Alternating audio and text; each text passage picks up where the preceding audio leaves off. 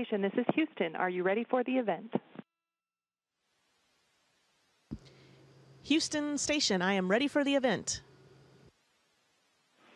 The Mandelstam School, this is Mission Control Houston. Please call station for a voice check.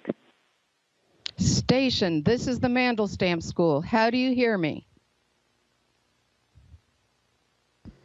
Hello, Mandelstam School. This is the International Space Station. Welcome. Hola, Serena.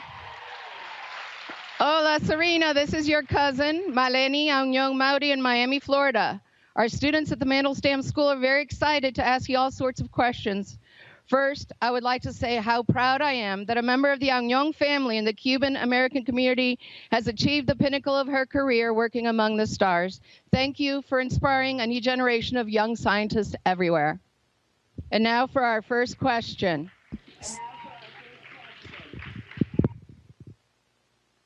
Hello, my name is Lola. I am in first grade. My question is What is your favorite job on the space station?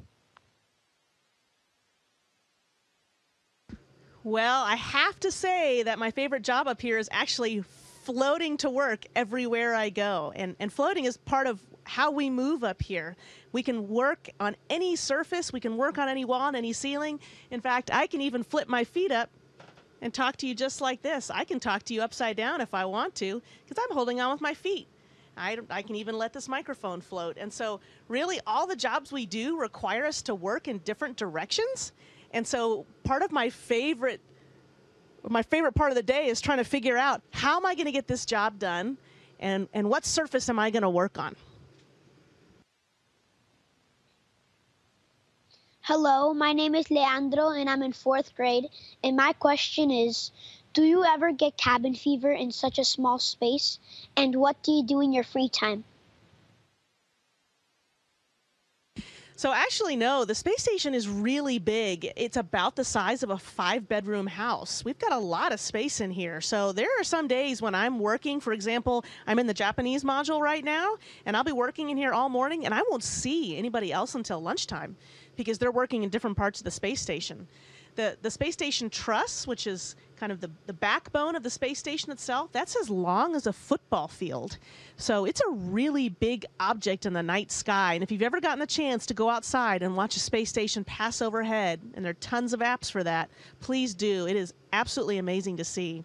As far as our free time, uh, for example, Saturday nights we always have movie night with the crew, and somebody it gets their turn to pick a movie, and we've got special movie candy and stuff like that. And so we really enjoy spending time together. We also really like looking out our windows because we get to see our, our beautiful Earth and different phenomenons such as aurora, which are beautiful because of all the different colors that we see. Hi, my name is Brody and I'm in fifth grade. My question is How do your cells change in space? What organ is most affected during a trip in space?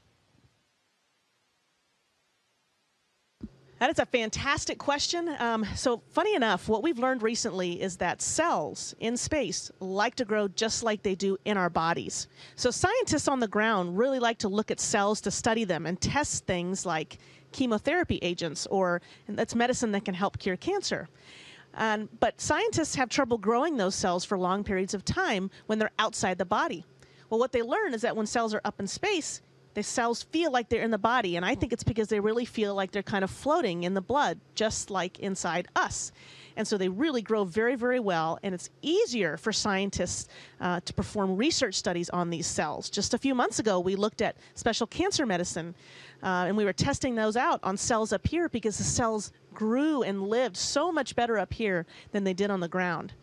As far as which organ is most affected, I think all the organs are. The, the ones that we're most concerned about are really the system, is what we call our musculoskeletal system. So our muscles and our bones. Those are the ones that change almost immediately once we come up into space, and we have to protect them daily uh, to make sure that they don't break down too much while we're up here. Hi, my name is Matthias and I'm in fifth grade. My question is After you eat, does your stomach feel different and does your food float in your stomach? You know, I think your food does float in your stomach a little bit, and especially when you first get up here, um, your stomach feels a little more full pretty quickly, so you don't eat as much those first few days. But then your normal appetite comes back. But let me show you what happens with liquids in space. This is kind of neat. So this, this is a drink, and it's a bag of drinking water, and it's got my name on it only because there's lots of us up here, and all these bags look the same, and we want to make sure we each keep our own.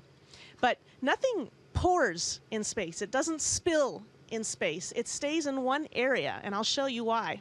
It's because of something called surface tension. So I'm going to hold this bubble up real close to the camera, but that bubble is going to grow and grow and grow and grow until I stop it, really. But what's kind of neat about this?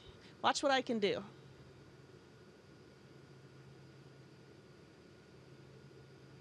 I just transferred that bubble to my hand.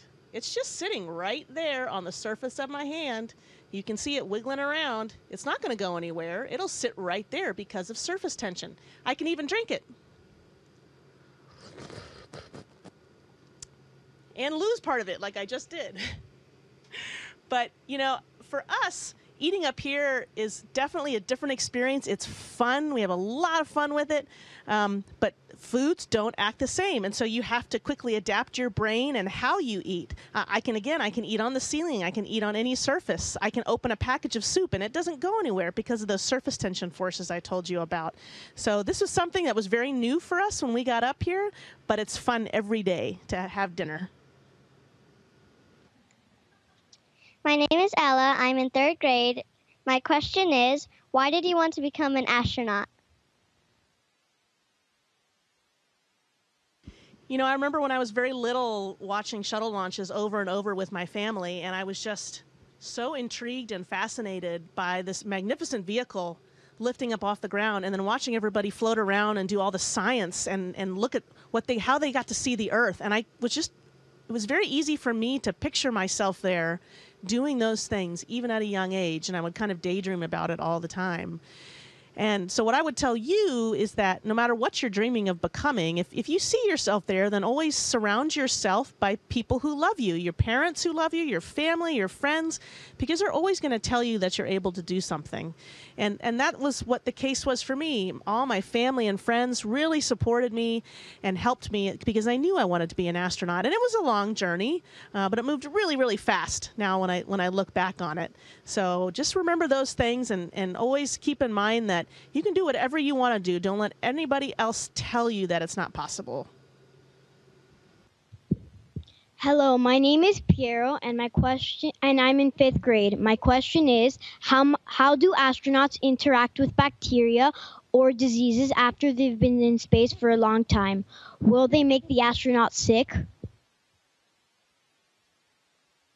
That is a fantastic question because we are doing studies up here right now that look at that.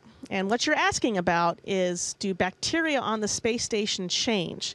Do they become meaner bacteria or do they kind of stay the same as they are on Earth? And interestingly, some of the bacteria we've studied tend to get a little meaner up here.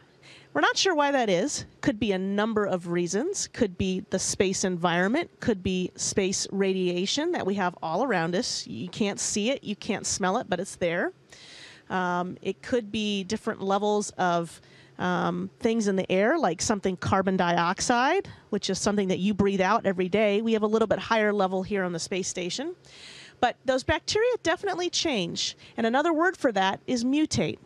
So they change their structure a little bit, and sometimes they get a little bit meaner. Now, the good thing is, and I'll knock on wood, we haven't had anybody up here get very, very sick from any of those bacteria. We do keep this place very clean. We clean the space station once a week, and we use special disinfectant wipes and everything, and we're constantly testing surfaces to see what's growing.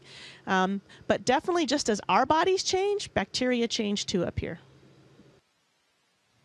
My name is Angelina and I am in fourth grade. My question is What did you expect from work and life when you became an astronaut?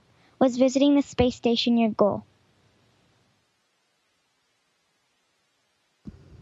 You know, when I first became an astronaut, I, I knew that I would most likely go to the space station. I didn't know in what vehicle, though. I didn't know how long it would take me to train. So I, I sort of had an idea of what might happen, but life kind of changes at every moment. And so you just have to stay flexible, really. Uh, it was fun, though, to see what journey I went on. There were so many things I got to do during the training period before I went to the space station. I got to spend two months in Antarctica, way down by the South Pole, looking for meteorites. I got to spend two weeks living underwater right off the coast of Florida in the Aquarius habitat. I was an aquanaut. I visited multiple countries. So it was just such a fun time leading up to this mission, getting to experience all these different things and meet so many different types of people. Of course, coming to the space station was absolutely fantastic, but sometimes it's the journey there to that final path um, that's also really interesting that you need to cherish. My name is Walker, and my question is When you return to Earth, does it take a long time for your body to adjust back to gravity? Well, I certainly hope my hair comes back down because right now it has gotten long and it is sticking way up. So we will see. But uh, everybody's different. Everybody's body adapts differently when they get back to ground. But this is what I say the body is really a wonderful thing, it adapts very quickly. And your body, at least our bodies, remember what Earth was like. They remember gravity. They remember how you used to walk. So it's kind of like riding a bike. If most of you guys ride bikes, if you haven't rode a bike for three or four months, you hop back on the bike and you can pretty much ride again. It's okay because your body remembers. So it takes a little while for our muscles and bones to get back to where they were, but really people adapt pretty quickly and we have a lot of folks working with us to make sure that we do the best things for our bodies, certainly in those first few weeks. Um, but the body is really amazing and it just remembers and it knows where it wants to be, and that's Earth. My name is Zoe, and I'm in third grade. And my question is Do foods and liquids taste the same on the space station as they do on Earth? Well, I'll tell you, they do taste the same. We have to eat special foods up here. We can't go grocery shopping, so all our food is sent up to us in these sealed packages. And I will say this: uh, there's most of the food is kind of a softer food. We don't get a lot of crunchy food up here, so that's one thing we really miss. Like a crunchy taco, we would love to have that up here. Um, but the food, for the most part, does taste the same. Uh, I haven't noticed too much of a difference. The, the, really nice thing is when we get a cargo vehicle, for example, we had a vehicle Cygnus just dock, and SpaceX just launched a couple days ago from Florida. And they're bringing us all kinds of cargo for the space station. They also bring us special treats of food. And so we get things like a box of special cookies or crackers that we normally don't get up here, crunchy things. And so it's really fun for us because when we get those vehicles up here, we get to open up our special packages and, and eat our special foods. Um, we do enjoy the food up here. There's a lot of it, but there's also a lot of things that I miss on the earth too, like a cheeseburger. Hello, my name is Felix, and I'm in the third grade. And my question is what happens if you do not exercise for two hours a day? Yeah, so you're right. We do exercise for two hours a day. And remember, a little earlier, I mentioned that the moment we come up into space, our bones and our muscles change immediately. And they know that because they've done special studies on our blood and everything, and they see some of those things happening in the blood. They can tell that the bones are breaking down. So, if we did not exercise for two hours a day, our muscles would continue to get smaller and smaller and smaller. And the word for that is atrophy. So, our muscles would atrophy, certainly in our legs, in our spine. These are what we call our posture muscles. Our arms generally do pretty well because we move around a lot with our arms, we hold on to things with our arms. But our legs, most of the day, I'm really just floating there. They're not doing a whole lot, they're not holding up my body weight. You know, my feet are kind of doing what they want, dancing in the air, but they're not working really. And so, if that were to occur, then we would get weaker and weaker and weaker, and it wouldn't be very healthy for us. Also, our heart. So, when you're on the ground on Earth, you don't even know this, but every time you walk around or run or anything, your heart is also pumping blood against gravity. So when you get up here and the heart's not having to work as hard because there's no gravity, it also gets a little smaller and weaker. And so bones are the other thing that because they're not holding up your body weight and working with gravity, also start to break down. And so we don't want that to happen, especially if we want to go to Mars someday, because that's a much longer trip. So we work out two hours a day to maintain that muscle mass and bone density to keep us strong. And we've looked at that through many studies over the years. So it's really important. It's very important for you guys to exercise down there. It's even more important for us up here. Hello, my name is Ernesto and I'm in second grade. And my question is if we do gymnastics to learn how to do flips, how did you learn how to move in the space station?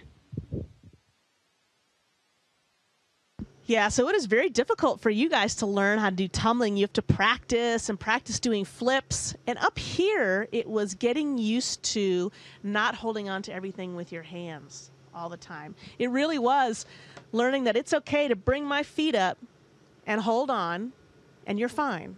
Everything's okay. Now I can hold on with my hand, but by doing this, um, it kind of taught my brain and my body that I can move in different directions. And for the first month, my brain was pretty confused. If I didn't kind of stay upright in certain parts of the space station, I wouldn't know where I was for a minute or two.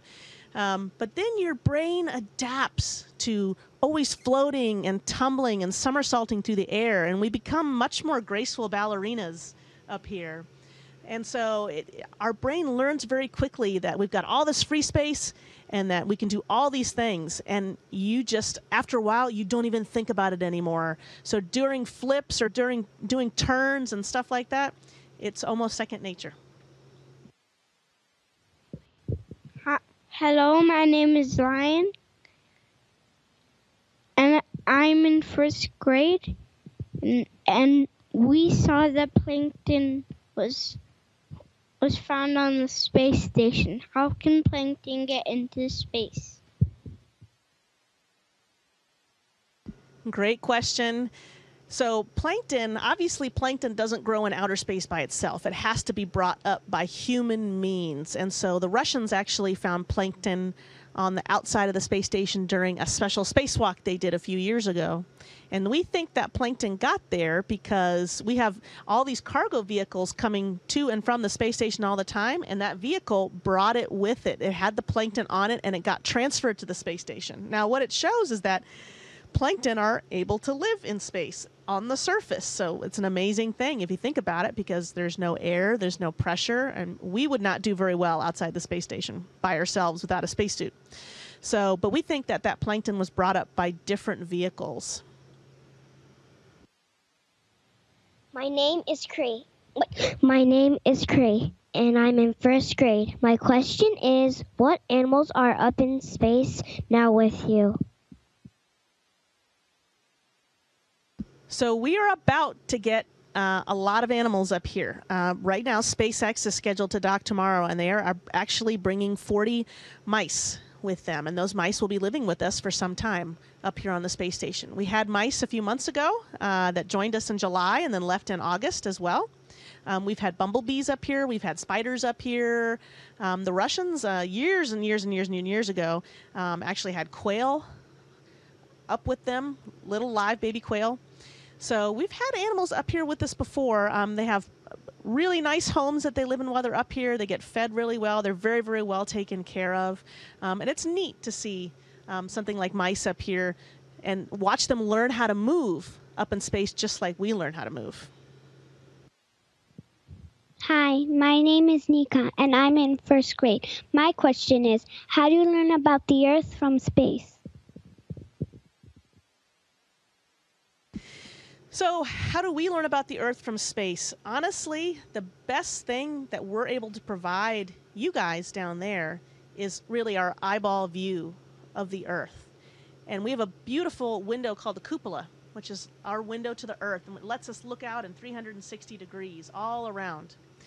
And we're able to see continents, entire continents, as we cross over them. We're able to see big storms like hurricanes coming we're able to see the size of those storms. Then we can quickly take pictures. And then once the hurricane's passed, we can take pictures again and, and look at the, sort of the damage that may have been done from that hurricane. So we have a very unique viewpoint from up here, kind of what we like to call a big picture view of things that are occurring on the Earth's surface. And we're able to provide that. And we try and do that as much as possible, either through movies or pictures or by just talking to people about what we see. For example, the, the wildfires in California, we were also taking pictures of those and just looking at the destruction that that caused. So it's the we try and engage as much as possible with that. Um, but I will tell you, looking at the Earth from up here, definitely it, it makes you think about the Earth and how many people live on the Earth. It's it, it's called perspective. It gives you a different perspective about life on our planet. And one of my favorite things to do is really to look at the Earth at night and look at all the lights in the different countries and even thunderstorms as they cross overhead because it's absolutely beautiful. My name is Daniela, and my question is Are there any future plans to expand the International Space Station? No future plans to add on any more modules. Uh, station is right now what we call assembly complete, meaning we've completed building it and we're focusing on science right now. We've got a lot of science that's about to hit this station uh, in less than 24 hours. And so, right now, though, NASA is looking at going towards the moon, back to the moon, and to Mars. And so, we're developing those vehicles to do that, to take us the long distance. And Station helps us with that because we're able to look at how we exercise on station, how we eat food on station, how do we go to the bathroom on station. These are all really important things and things that we need to take with us as we go past low Earth orbit. That's where the space station is right now, very close to the Earth's surface but it helps us go past low Earth orbit and on to Mars. Hi, my name is Valentina and I'm in kindergarten. And my question is Do the stars look different in space? You know, we actually get this question a lot, um, and they don't. They look a little brighter, but we see the same thing that you do back on the surface. Now, we see a lot more and at night, we can turn all the lights off in one module and look out the cupola and see the Milky Way anytime we want to. It's really neat. But we see the moon just like you see the moon. We see Venus just like you see Venus. Everything looks the same. Um, so when you get a chance, step outside your house at night. Take a look up in the sky. Get all the lights off and take a look up because it's beautiful. I wish to express on behalf of the Mandelstam family and the Mandelstam School our deep appreciation to Dr. Aunon Chancellor and NASA for this wonderful morning. And I must say, having seen the broadcast today, it's special people like Dr. Uh, Aunon Chancellor and agencies like NASA that make this a great country. Thank you so much. Thank you so much, Mandelstam School. It was great talking with everybody today. Have fun station. This is Houston ACR. That concludes the event. Thank you to all participants from the Mandelstam School Station. We are now resuming operational audio communications.